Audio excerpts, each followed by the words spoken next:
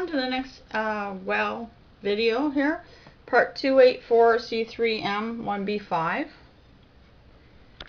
And it's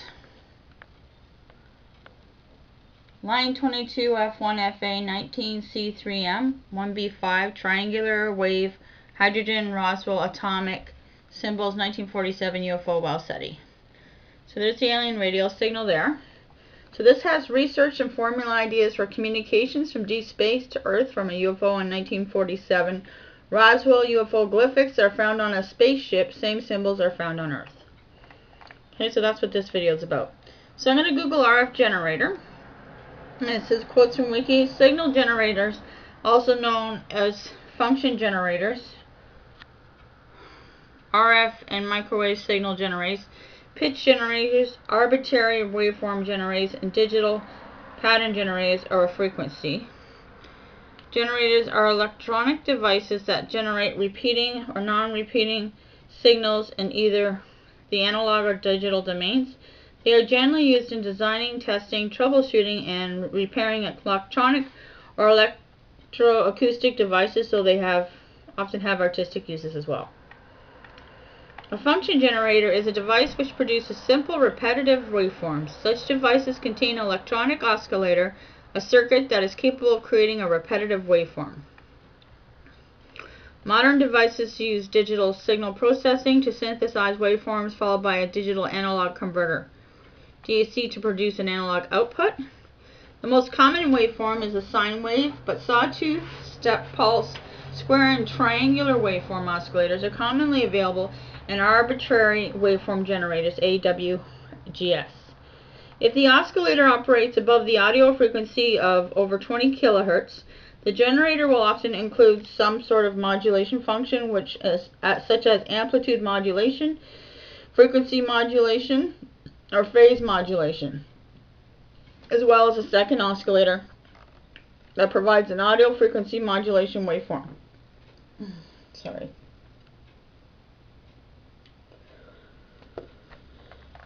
November 23rd, 2012 is when I was working on this. Today is November 24th. The keyword is triangular waveform oscillators. I'm going to Google AWGS, arbitrary waveform generators, and this is what came up. So this is a band-limited triangle wave picture in the time domain top and frequency domain in the bottom. The fundamental is at 220 hertz, A3. That's from Wikipedia. A triangle wave is a non-sinusoidal waveform named for its triangular shape. It is a periodic piecewise linear continuous real function. Like a square wave, the triangle wave contains only odd harmonics. However, the higher harmonics roll off much faster than in a square wave, proportional to the inverse square of the harmonic number as opposed to just the inverse. November 23rd, my thoughts. Using the triangle wave with the WOW alien radio signal data, what kind of wave did the WOW signal use to reach Earth?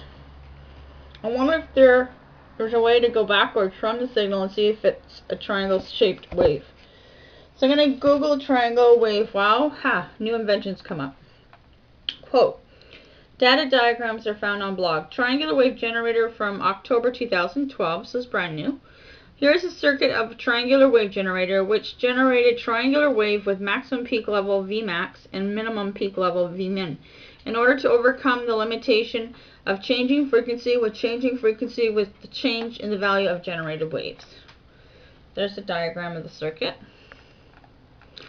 Circuit descriptions. This whole circuit is built around a quad operational amplifier IC-TL048, IC2, an analog multiplexer IC CD4053. IC1 is separated as A1, A2, A3, and A4, functioning as different differential amplifier integrator, buffer, amplifier, and comparator respectively.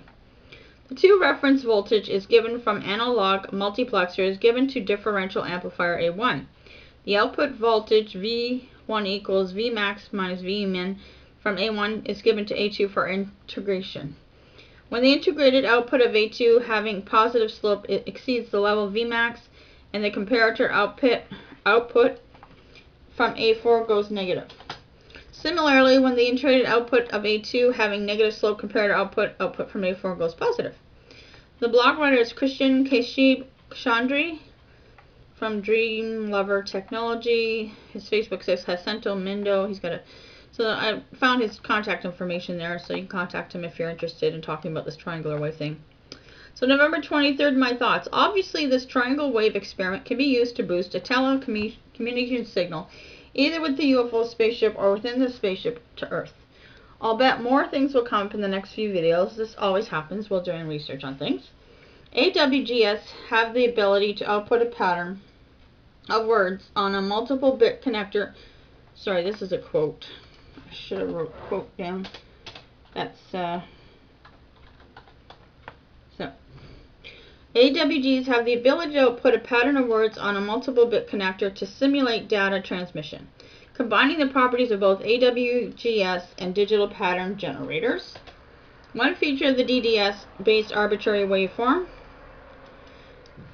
generates generators is that their digital nature allows multiple channels to be operated with precisely controlled phase offsets or ratio equated related frequencies. This allows the generation of, of polyphase and sine waves, IQ, constellations, or simulation of signals from geared mechanical systems such as jet engines. Complex channel channel modulations are also possible. AWGs may also be contained within music synthesizers. So November 23rd, AWGS Music. We all know that music can travel far distances from this concert in a city. Does it travel farther than any of these triangle wave signals? And what makes it travel that far? So I'm going to Google music sound, musical waves travel, and the keyword is sound waves. The speed of sound. A sound wave is a pressure disturbance. It travels through a medium by means of particle-to-particle -particle interaction as one particle becomes disturbed, it exerts a force on the next adjacent particle, thus disturbing that particle from rest and transporting the energy through the medium. Like any wave, the speed of a sound wave refers to how fast the disturbance is passed from particle to particle, while frequency refers to the number of vibrations that an individual particle makes per unit of time. Speed refers to the distance and the distance disturbance travels per unit of time. Always be cautious to distinguish between the two often confused quantities of speed, how fast, and frequency, how often.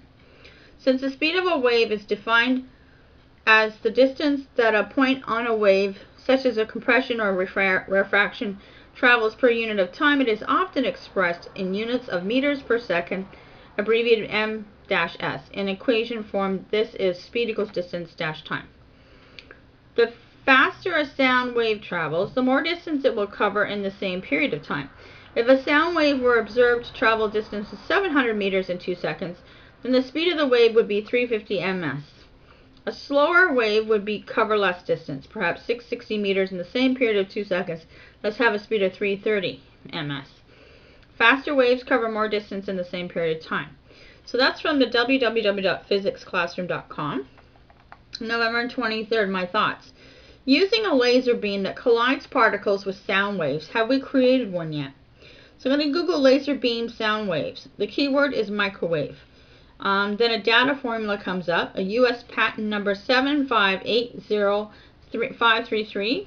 Um, so we're going to do the laser beam, smoke or vapor, detect sound vibrations, free air, particulate flow detection microphone, laser photocell pair, moving stream, smoke or vapor, laser beam path.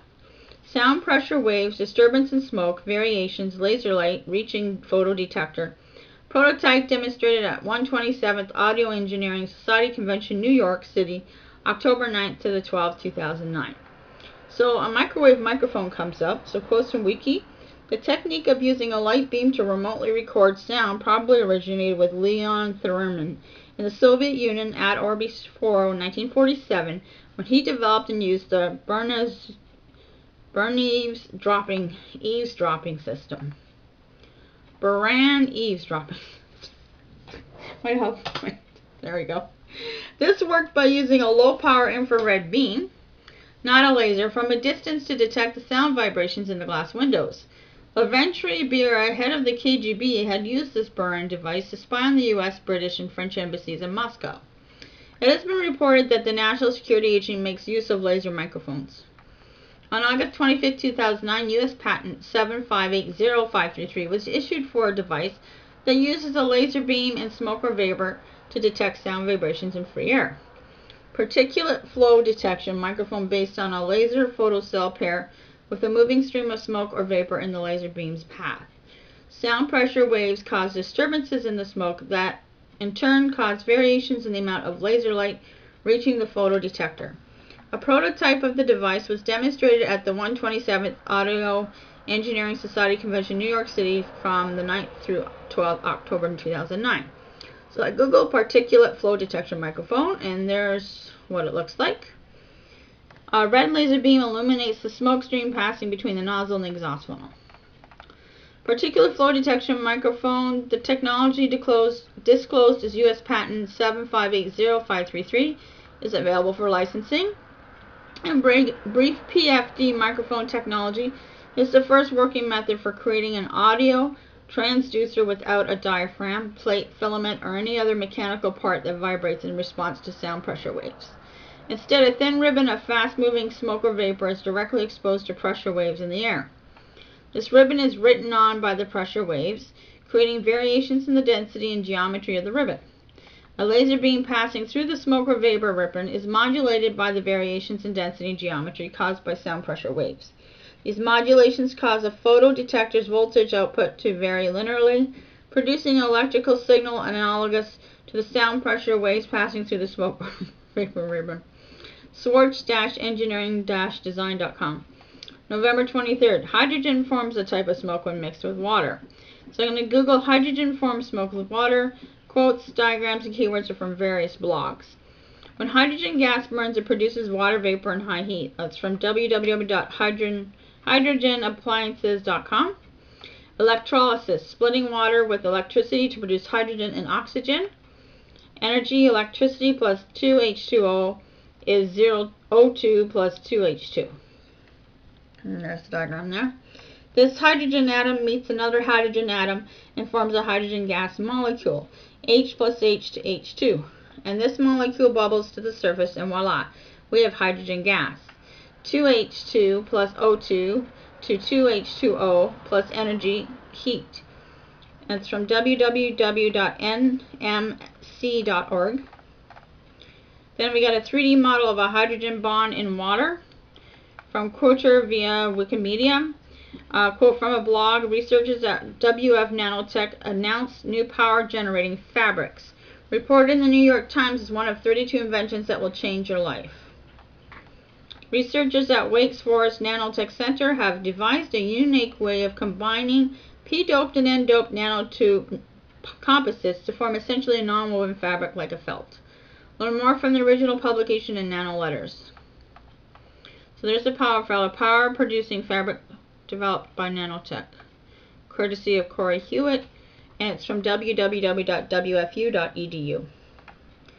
So November 23rd, my thoughts. Combine this fabric with the hydrogen fuel formulas and steel alloy mixtures mentioned in the WOW data, alien technology ideas, and you can have a self-powered UFO spaceship that recharges itself. I'll have to do a cross-reference of the WOW alien radio signal data. It has several formulas that mention carbon nanotubes in it. Errol's thoughts on the matter. They need to test this material they've made called power felt with the remnants found at the 1947 Roswell, Mexico UFO crash.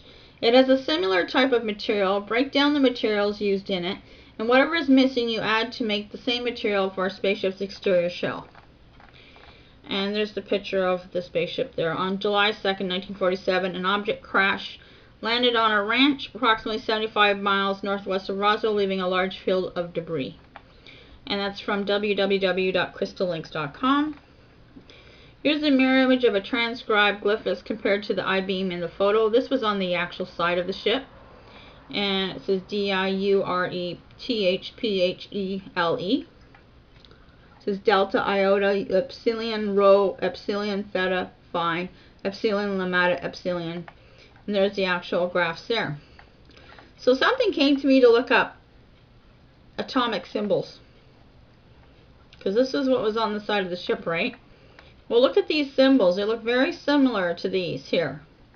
So September 3, 1803, Dalton introduces atomic symbols, quote from blog. John Dalton devised the first atomic symbols, but they looked a little different from the ones we use today. And that's from Wired.com. And here's some more atomics. This is the elements. atomic symbols. And again, some of these look the same as these up here. Quote, various atoms and molecules are de as depicted in John Dalton's A New System of Chemical Philosophy, 1808. This is the English chemist physicist John Dalton. Quote from blog, 1803. Um, John Dalton starts using symbols to represent the atoms of different elements. Dalton, considered the father of modern atomic theory, made a logbook entry that day entitled titled Observations on the Ultimate Particle of Bodies and Their Combinations. It was the first use of symbols to represent the elements of modern chemistry. He soon had a table of 21 elements arranged by atomic mass, which he presented in a scientific paper the following month. Eventually, he had 36 different symbols. In his 1805 work, A New System of Chemical Philosophy, Dalton propounded the tenets of his atomic theory. Number one, the chemical elements are made of atoms. Number two, the atoms of an element are identical in mass. Number three, atoms of different elements have different masses. Four, atoms combine only in small whole number ratios like 1, 1, 1, 2, 2, 3. Atoms cannot be created or destroyed. Wired.com. November 23rd. So we need to look up the ancient Greek symbols for atoms. The transcribed glyph symbols from the 1947 Roswell UFO look similar to the atom element symbols written sorry, in 1803 by an English chemist physicist named John Dalton. Okay, so thanks for watching. We'll go on to the next video.